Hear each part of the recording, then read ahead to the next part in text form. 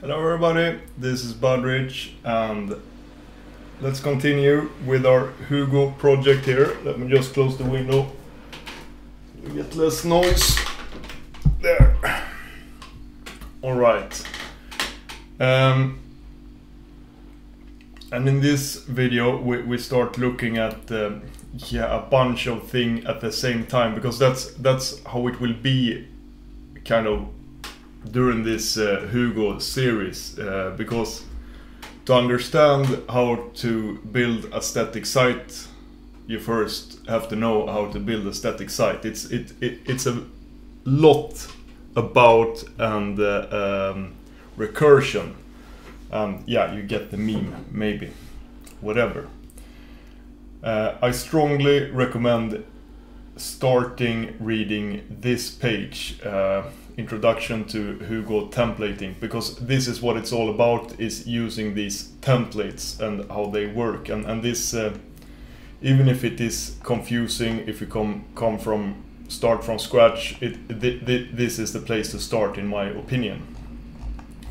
And it's a quite long uh, uh, page here but with a lot of, of examples so it's good. And, and I, I kind of recommend that you just try these examples out and, and see what happens uh, on your site. But whatever, let's see what we can do with this. Here is uh, um, the project that we have created. Currently it's uh, empty. We don't have anything, we don't have any posts or anything, or I actually have this post directory now because I was doing some testing. So let's start uh, by adding a post or two here. So Hugo new and also we should make sure that we are in the right directory here. Git uh, budlabs hugo the root of, of, of the project. This directory. So the command hugo new and then we say posts. Uh, uh, and then we can say one post or whatever dot md there that created one post there and then we can do another post.md just so we have two of them.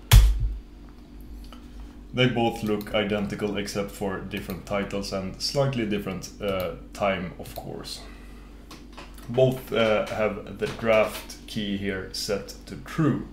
And this part here that is what's referred to in the documentation as the front matter uh, where you can define some some basic variables kind of for for the page that you want to to render late later.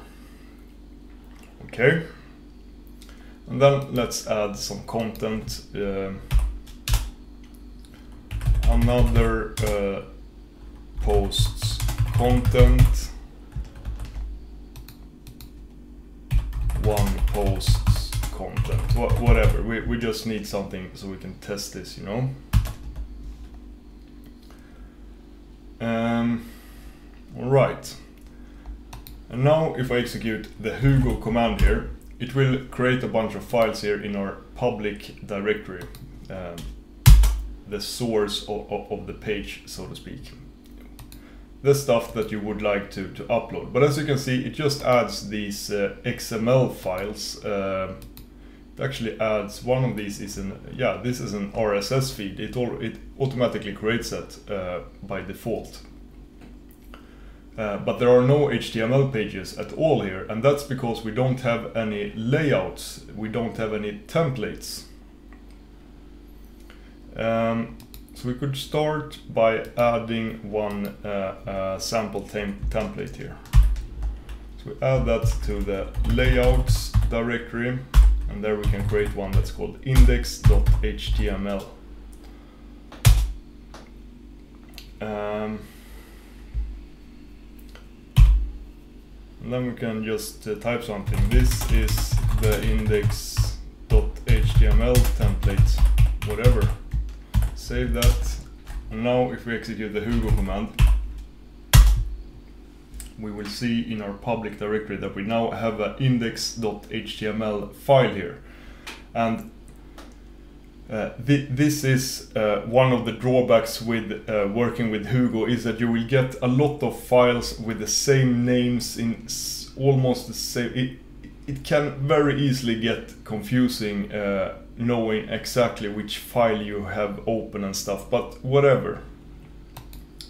And now if I open this is in, in the public and this is the layout. So so it, they look exactly the same because uh, our, our layout here, it just have this string. Um, and the index.html uh, layout will generate the index.html file on in the public directory. So this is like the, the main page, of course. Uh, but this is kind of useless. Um, so let's say that we would like to, to list um, list all our articles that we have written here. And I, I have this prepared in my clipboard here. Uh, a little loop command.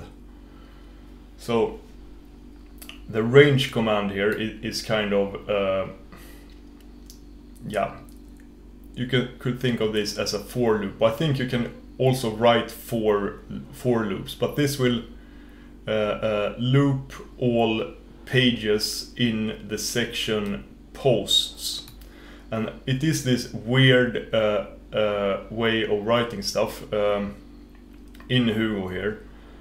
You write the function, or this is actually the function where, and it takes these parameter parameters. So it is a bit uh, like Lisp, but without the parentheses sometimes. But it is weird. But this is how it is. Then to end this loop, we need to end add this thing here. Um, and for each page it find here now in the posts section and this is a section every directory in the content directory is a section. So post is one section it's the only section we have right now. Uh, and each of these pages uh, that it finds here we can access that uh, by the, a, a, dot. And then we could print one uh, a variable. For example the title of each page here so let's try this now and see what happens. See in the public. And here we can see nothing really happened. We got some more blank lines here. That's all we got because the, the blank lines uh, is these, these and stuff.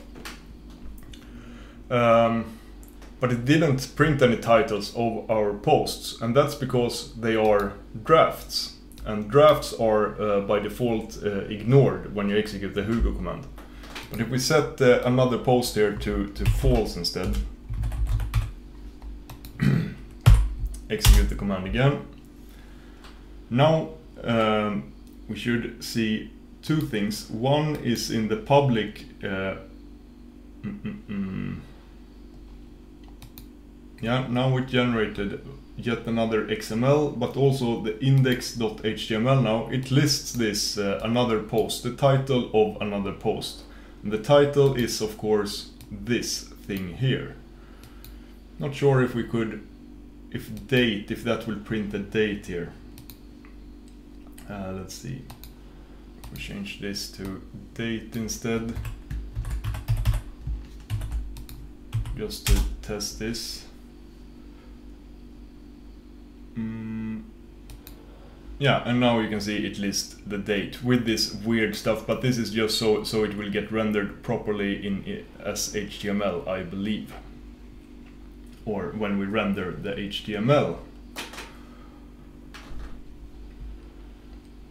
We could also uh, if we wanted to print like the title and yeah let now since it's only one line stupid content here uh, if we wanted to print also the content of the of that post I think we can do this um, yeah you see I, I constantly choose the wrong uh, files here but there's one variable called content not 100% sure if this will work, but yes, now, now you can see it lists here another post's content instead. And it have uh, enclosed it in, in uh, paragraph HTML uh, tags here. And uh, if we also add some, some more markdown here, for example a code block and maybe uh, some bold text here maybe a header. You will see that it will, uh, uh, uh yeah, I think you get it. That, no, it have translated that markdown into HTML here now.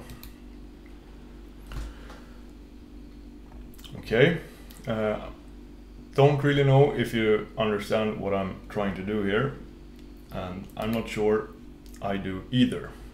But uh, we don't want to just have a page here that lists uh, the content of every single post. That's uh, that's not what we want. Let, let, us just create a list here of all pages and uh, with links. So we could click the, the links and then go to each page. Um, yeah, let's see if that works here now at all. Perma link is, is a variable that will give us the link to the page, but I'm not sure we, this will work now when I think about it. Well, it did. Let's see what link. No, it works. But another post doesn't really exist. Because this is just uh, the index layout here. That is just the layout for the index. What the, it's a, it's a special layout here because this is only rendered once or processed once for the whole site. Uh, but then we can also add uh, this, yeah, let's do it this way. Uh, is it default or defaults? We'll cheat here and look at the, no, it's default. And then single dot HTML. This, this will be the template that we will be used for single pages. For example, uh, one of the articles here. And the default here means it will use this for any section. I could also name this directory post and then it would only use this template for posts. But let's use default here for now. I know that that was almost uh, a bit out of scope for the video here now, but whatever. Uh, but single is for single pages and list, that would be the template that would be used for uh, the section itself because this could also be used to render a list for only or a page for that section. As you as you can hear here, it, it's like you have to understand how Hugo works to understand how it works. But whatever, let's do this now. We create this single uh, layout template, and there we can just uh, type content. So this will just render that uh, uh or generate the HTML based on the markdown. And just so you follow here, now we have here, let's let's close all the directories so it's easier to, to follow. Now we have in the layouts directory, we have one uh, uh, layout for the index page and we have one default single page here that only contains this uh, variable here. And this uh, layout template will be applied to every single single page here. But right now we only have one single page because it's only one of them that is uh, have a draft set to false here. Hugo looking at the public. Uh, and now we can see another post have its own uh, its own directory and its own index page. And that means uh, if you know some HTML, then you know that you could access index page, you, you never need to write index.html. So we could write just a URL, you know, uh, budlabs-hugo.com or .io slash another post, and then it would, or posts another post. We don't need to, to write the index.html, making giving us nice URLs for later, but that's also maybe a later topic here. now we can also see this page here. Um, and let's try this now. I, am not sure how this will work either if we if we um, do the Hugo server command here instead. Oops, Control G, Y, boink, boink. Yeah, now you can see this is the page. Uh, this is the uh, index.html that we have rendered, but uh, we, we don't have any markup or HTML here. So if we wanted this to be somewhat useful, um, we need to add some, some HTML to our template. We could start by, by just doing a, a header here. Um, and then we could do something like a uh, equals this title. And then do a line break now you see I, I changed the, the layout here. I don't need to restart the server or anything I believe. Now it looks like this and we got a, got a link here another post and it takes us to that page. And here we can also see the URL pointing pointing to this location. Uh, and so this is one side of Hugo. The other side is like the first video where I showed you uh, when we just built the theme really quickly there with a quick start to import a pre-built theme and everything looks so easy. But uh, it is not easy. Uh, it is you kind of need to, to experiment uh, quite a lot yourself and just see what happens when, when you do things uh, uh, to, to, to let, us uh, create undraft this one too. Uh, false. So now we have two posts and then I'm not sure if this yeah now we have both uh, links here and another post um, Okay, uh, let's see, it's 18 minutes. And the layouts here now, we have added them uh, in the, let, let, let's end the, stop the server here. We could also do Hugo one more time just to see see the, the rendered HTML.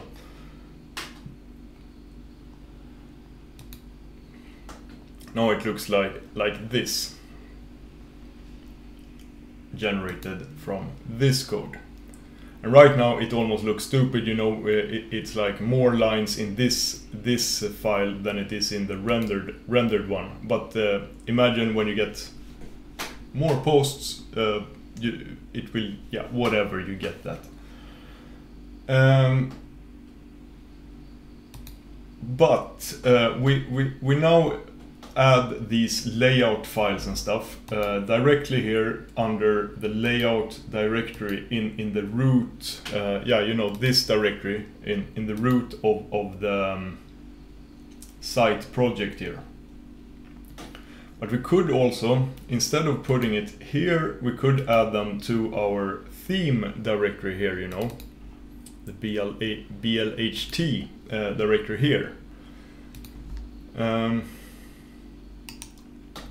and how that works is, yeah, let's let's just do that. I will move these files now, our templates, uh, into the BLHT theme directory here. And now if I try to, to uh, if I generate a page again here now, now I'm not sure how this will look like here. Because if I'm not mistaken, it will keep these old, yeah, when you execute the Hugo command, it will just generate the new files. It will not remove any old files from the public directory here. And that that is uh, very good to understand that. So so it's a very good idea in my opinion when when you want to deploy a site when you want to do this to first clear the public directory. Um, so creating an alias that or, or, a function or a script or something that first uh, remove all files from public directory and then generate the site again. Um,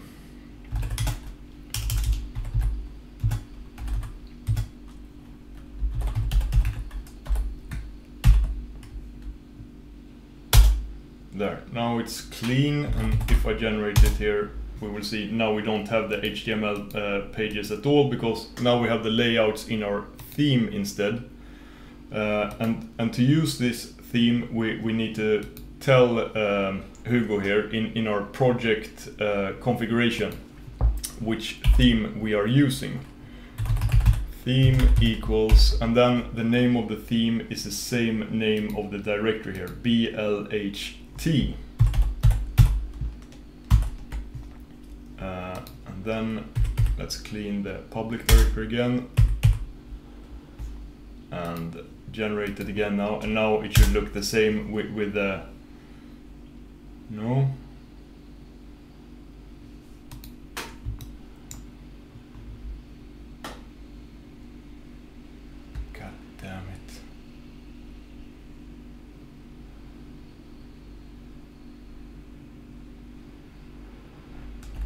Ah, uh, I, I know what it is. We we put uh, these files, uh, they need to be in, in a directory called layouts. And this is also something that is really confusing in the in the beginning, uh, that some directories, this is named layouts with an S, plural, and some are not plural, and, and this is very it's kind of easy to get it wrong and it also is uh, important. And same thing here posts uh, it's important that that it's named posts and not posts and stuff. It's yeah you have to know how it works uh, to know how it works but I'm just saying. So now uh, it should work here to render with our theme. And now I forgot to clean the public directory first, so let's do that, and then Hugo. And you see, 9 milliseconds, it's, it's ridiculous. But now uh, we got the exact same result. Uh, and I will try to, to, to use this this way instead. Separate these things, adding the templates and stuff into the themes uh, directory instead of adding it to the roots directory. Uh, but uh, if we add um, like this index.html uh, template here, if we would have that at both locations, uh,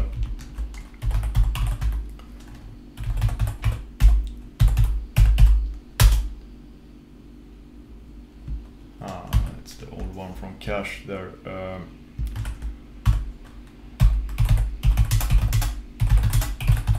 this is the one in uh, root of a project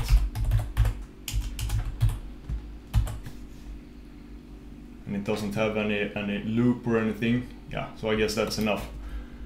And let's clean the public directory again and then um, execute the Hugo command and see what happened here. Um, in our public directory, we look at the index.html, it, it rendered some index.html and it did use the one that was in the root directory. So those files have priority, but it will still, it have still uh, rendered our, these ones and these uh, pages uh, are, are, you, are, are rendered by using the theme uh, theme template here, here, the single this is a theme template.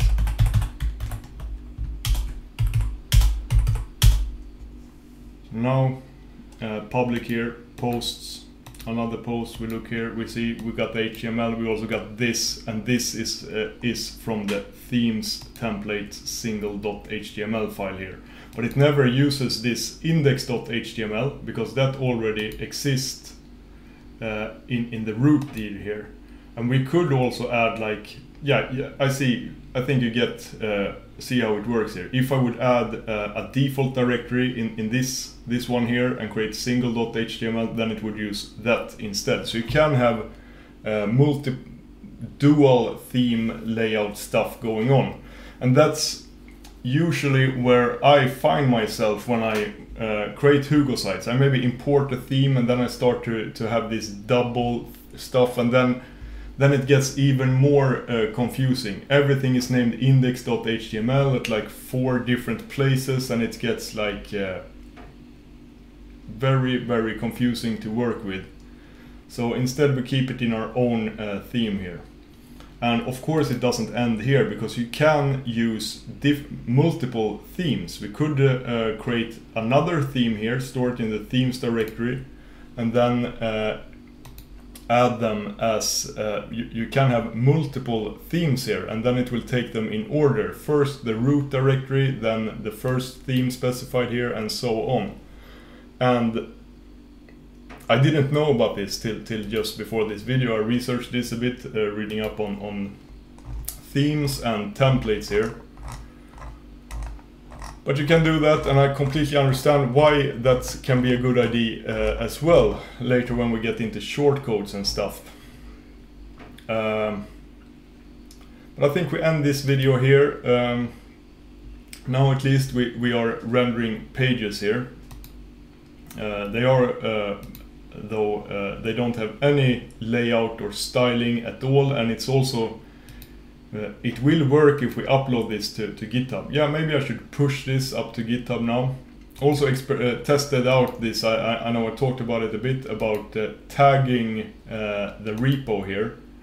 And you can do that uh, and then then you get like um, the state of the repository. But but it of course were a bit weird with the submodules.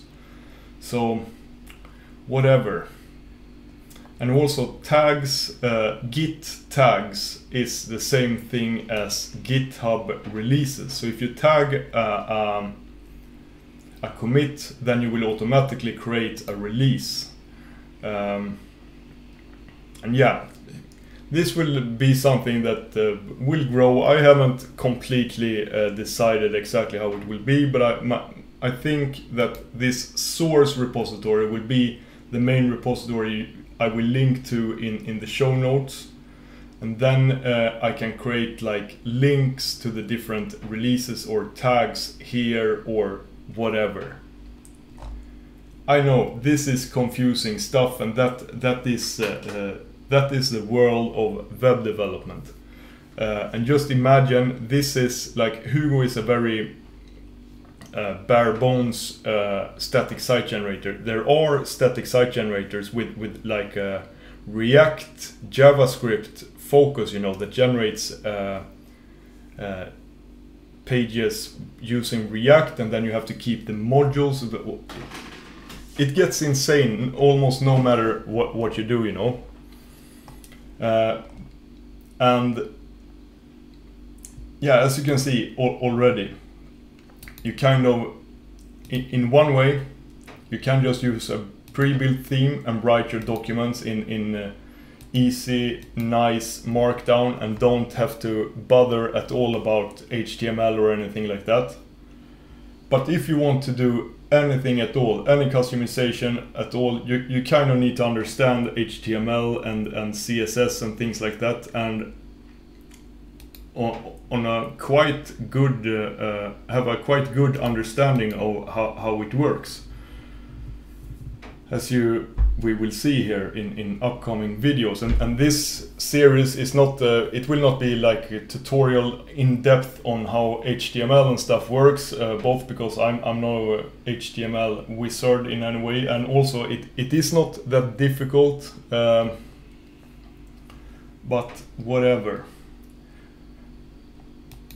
But this is a way to just start learning learning that as well, just delving into. In one way, you shouldn't just do this if you don't. Uh, it, it will be very difficult if you have no web development experience at all. But how would you get web development experience? You have to start somewhere, and I suppose uh, it- it's not it's not the worst uh, uh, way to start.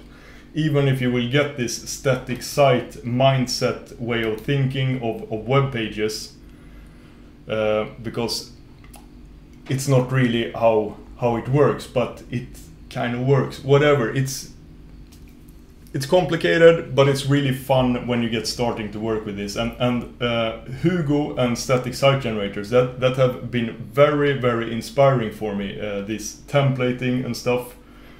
Uh, if you know my my Mondo project, for example, that uses uh, yeah I some a type of of, of um, ah that's right. Yeah my I have a repository a, a, a, a, script that's called Mondo that generates yeah themes and stuff for for my uh, desktop and Linux and, and the polybar and everything. And that is extremely inspired by how Hugo and static sites work with the templates and, and thing and merging files and things like that. I don't know.